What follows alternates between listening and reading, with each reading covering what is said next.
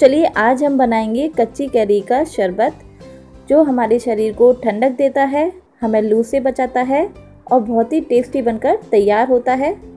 और ये सिर्फ़ पाँच मिनट में बन के तैयार हो जाता है। तो चलिए, फटाफट से बनने वाली इस रेसिपी को हम शुरू करते हैं। लेकिन रेसिपी शुरू करने से पहले मेरी छोटी सी रिक्वेस्ट है आपसे। अगर आप मेरे चैनल पर नए हो तो प्लीज़ चैनल को सब्सक्राइब कर दीजिए और साथ में लगे बेल आइकन को भी प्रेस कीजिए। जिससे मेरे आने वाली वीडियो की नोटिफिकेशन आपके पास सबसे पहले पहुँचे। तो चलिए रेसिपी शुरू कर लेते हैं। तो देखिए, कच्चे कैरी का शरबत बनाने के लिए मैंने यहाँ पे चार कैरी ले ली है। आप कैरी कम ज़्यादा कर सकते हैं। और इनको मैंने अच्छी तरह से धो के और पहुँच के रखा हुआ है। अब इनको हम काट लेते हैं। तो इसका जो ऊपर का छिलका है, वो हम निकाल देंगे पहले।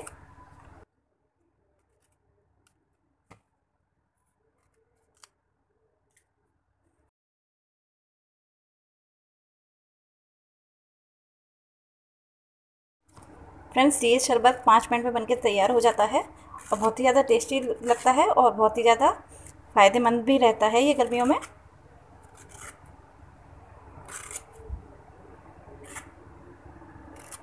तो देखिए, इस तरह से हम तीनों कैरियों को छील के रेडी कर लेंगे। यहाँ पे मैंने चारों कैरियों को छील लिया है और इसके जो छिलके हैं वो मैंने इस तरह से निकाल दिए हैं। अब छिलकों को हम साइड में रख देंगे। अब कैरियों को हम कट कर लेते हैं। तो देखिए, इस तरह से आप पहले इसके बड़े बड़े पीसेस निकाल लीजिए। क्योंकि बीच में जाली पड़ी हुई है तो बीच से कैरी कटेगी नहीं।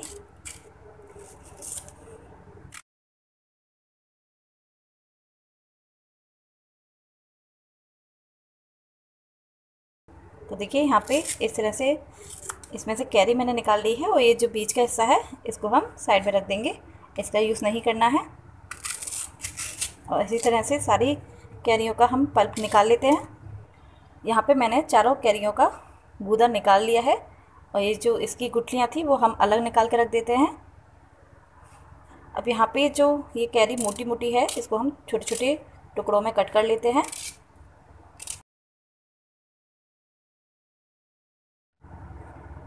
तो देखिए मैंने यहाँ पे कैरियों को इस तरह से कट कर लिया है। अब यहाँ पे हम एक मिक्सी का जार ले लेंगे और उसके अंदर ये सारी कैरी डाल देंगे। चौथाई कप के करीब इसमें हम ठंडा पानी डाल देंगे। कैरी के शरबत में डालने के लिए मैं यहाँ से थोड़ा सा पुदीना कट कर लेती हूँ। पुदीना मेरे घर पे ही लगा हुआ है। देखिए इस तरह से ऊपर ऊपर से इनको हम कट कर लेंगे। बहुत ही अच्छा फ्लेवर देगा ये।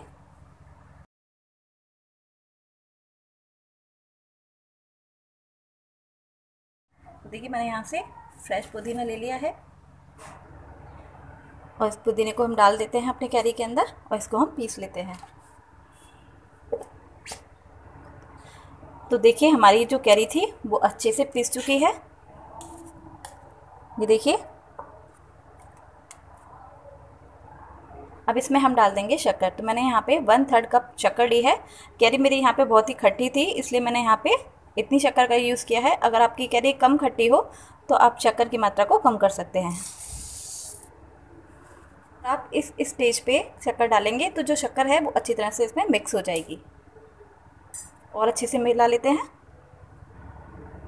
और देखिए यहाँ पे भी शक्कर हमारी अच्छे से मिक्स हो गई है।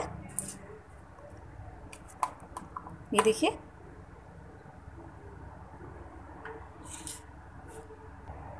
अब इसको हम छान देंगे। तो एक स्टेनर ले लिया है उसमें ये डाल देते हैं छानने के लिए।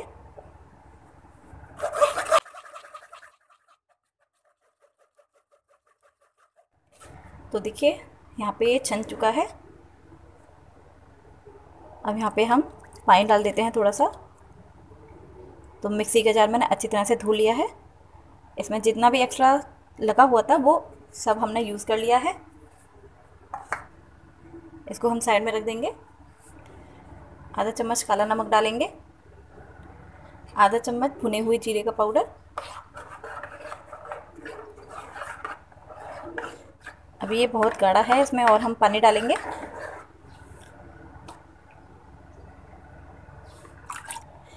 तो यहाँ पे हमारा कच्ची करी का शरबत बनके एकदम तैयार है। तो चलिए इसको हम सर्व करते हैं। तो हमने यहाँ पे ग्लासेस ले लिए हैं। और इन ग्लासेस में हम थोड़ी थोड़ी सी बर्फ़ डाल देंगे। और बर्फ़ के ऊपर हम ये अपना कैरी का शरबत डाल देंगे। तो देखा आपने कितनी जल्दी ये शरबत बनके तैयार हो जाता है। तो इस तपती हुई गर्मी में आप इस रेसिपी को ज़रूर ट्राई कीजिएगा और मुझे बताइएगा कि आपको ये रेसिपी कैसी लगी। रेसिपी अच्छी लगी हो तो लाइक कीजिए शेयर कीजिए चैनल को सब्सक्राइब कीजिए। फिर से मिलूँगी नई रेसिपी के साथ। Thanks for watching